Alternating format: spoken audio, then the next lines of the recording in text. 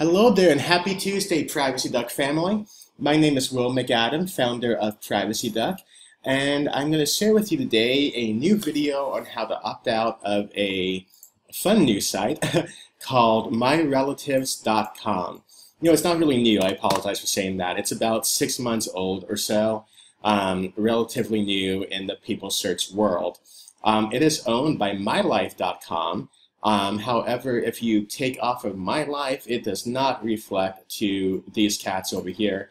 It's an entirely separate opt-out procedure you'll have to go through. So uh, the purpose of these videos, uh, you might um, be familiar with us over at Privacy Duck, is we do paid services where we do the work here in Los Angeles on your behalf, never contract or anything along those lines, um, or outsource our stuff. Um, or we also have free opt-out resources where you know we want you to have your privacy and be off of these sites. So if you you know can't afford us or don't want to pay money to a company or anything, we show you how to get off of all of these sites using the exact same process as we do. Uh, there's no magic wand, unfortunately. We wish there was, uh, there was, but uh, there's not. Um, it's just a lot of very manual work that you know you got to do with over 300 companies, you know, step by step. So, um, you know, we can do that for you, or we have these videos showing you exactly how we do it. Uh, and that's what this is today for myrelatives.com. Um, if you're on My Relatives, you'll probably notice um, that pretty obviously if you search for your Google results. Um, my Relatives does rank pretty high up there um, in that, uh, but you can search for yourself two different ways. The first way is to go to google.com directly, type in my relatives, and then your name and your city and state. Uh, for this example, we're going to pretend that your name is James Smith and that you live in Long Beach, California, just down the street from the Queen Mary. So let's look at that there. Um, so that would be your listing if that was you, or you can go directly to myrelatives.com and search right here. Um, and so go ahead and do that. You can narrow it down by middle name or anything if you need to you know, be more specific on your results. But uh, we're gonna, for the purposes of this demonstration, we're gonna pretend that James B. Smith um, right here is going to be you. So uh, we're gonna go ahead and see how to opt that out. So once you find your result, click on your record, and that will bring you to your page specifically. Um, this is what that looks like. Scroll through it a little bit. You don't have to click on anything else. Uh, the first thing you'll want to do once you find your page is to print this page out. You can do that by going to File and Print on your computer, um, assuming you have a printer, of course, um, or you can um, you know, hit Control P or whatever else um, to print that page out. So again, we have to mail in this request, there is no online or email opt-out procedure method right now for my relative. So it takes some time, but you know, it does work. So uh, let's go ahead and print this page out. The second thing you'll have to print out after you print out this profile page that pertains to you is going to be a opt-out form that is specific to myrelatives.com.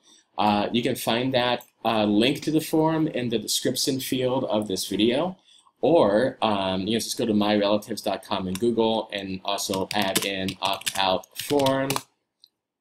And it should be your first result right there, opt-out request form myrelatives.com. So go ahead and click on that and open it. It will look like this right here. Uh, you'll want to print this page out. And again, uh, it doesn't have to be in color. Black and white's totally fine. And then when you print this page out, go ahead and fill out this information here using first name, middle name, uh, if applicable, last name, date of birth. Make sure your current address and your name matches the actual uh, profile record, profile page here you have on My Relatives. A lot of people don't want to put their real name or their real address on this form if you don't, then the opt-out's not going to work for you. So uh, let's go ahead and do that. Uh, be sure also to look through myrelatives.com uh, for any other cities you may have lived in, um, any other names. Um, other names can be put in the aliases here. Um, only add these addresses back here, where it says going back 20 years, if they have them in other records. Um, if it's not in their system, don't give it to them. Um, but you know, if they have it, just go ahead and add that here and print out all of the other records that match you. So you might have a few pages to send or a whole bunch of pages, uh, depending on how many records they have about you. Uh, the last thing you'll need to print out um, is going to be an edited copy of your state issued license or ID. That is going to be um, required for them to verify it's you. You know, I know it's a little bit invasive, but they won't remove you without that, unfortunately. So when I say an edited copy of your license or ID, um, you can either black out or cover up your picture, your signature, and your license ID number.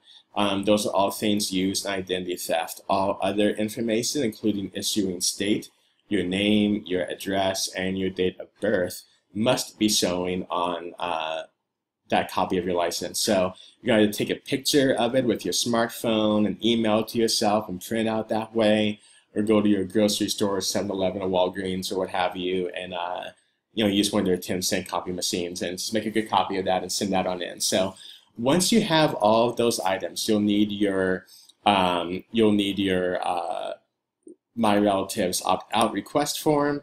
You'll need your license and the printout of the records you'll mail that to um, my relatives, and we'll put this address in our video description field as well, so you have it. But that's going to be 1915 21st Street, Sacramento, California, 95811. You will want to allow four to six weeks for this process to fully take effect. If you're still on there after about a month and a half or so, go ahead and send them a second opt-out request. Um, because sometimes those that that that happens sometimes. But uh, usually, most of the time, that first time works every time. if that makes sense. So, um, you know, so you'll do that there, and that will take care of my relatives. Now, uh, we do take care of my myrelatives.com for you um, on our paid services underneath our premium privacy service, um, because that's the one that takes you know more legwork and things for us here. Um, and that is found right over here. It is $499 uh, for the one-time opt-out as of August 2016. Um, but also, you know, we also have tons of free resources for you to look at as well. So come to our site, look around, use our videos, our how-to guides, our resources, um, and if we can help you out, we would love to work with you on uh, uh, taking care of this work for you here. So um, if you have any questions about my relatives or how to opt out of this or the process or anything, uh, please feel free to leave any questions or comments in the uh, comments field. And I always respond to those, look at those, and uh, I'll get back to you on those. Um, otherwise, uh, you know, always call us at 415-320-1845 or email me at will, W-I-L-L, at services at privacyduck.com.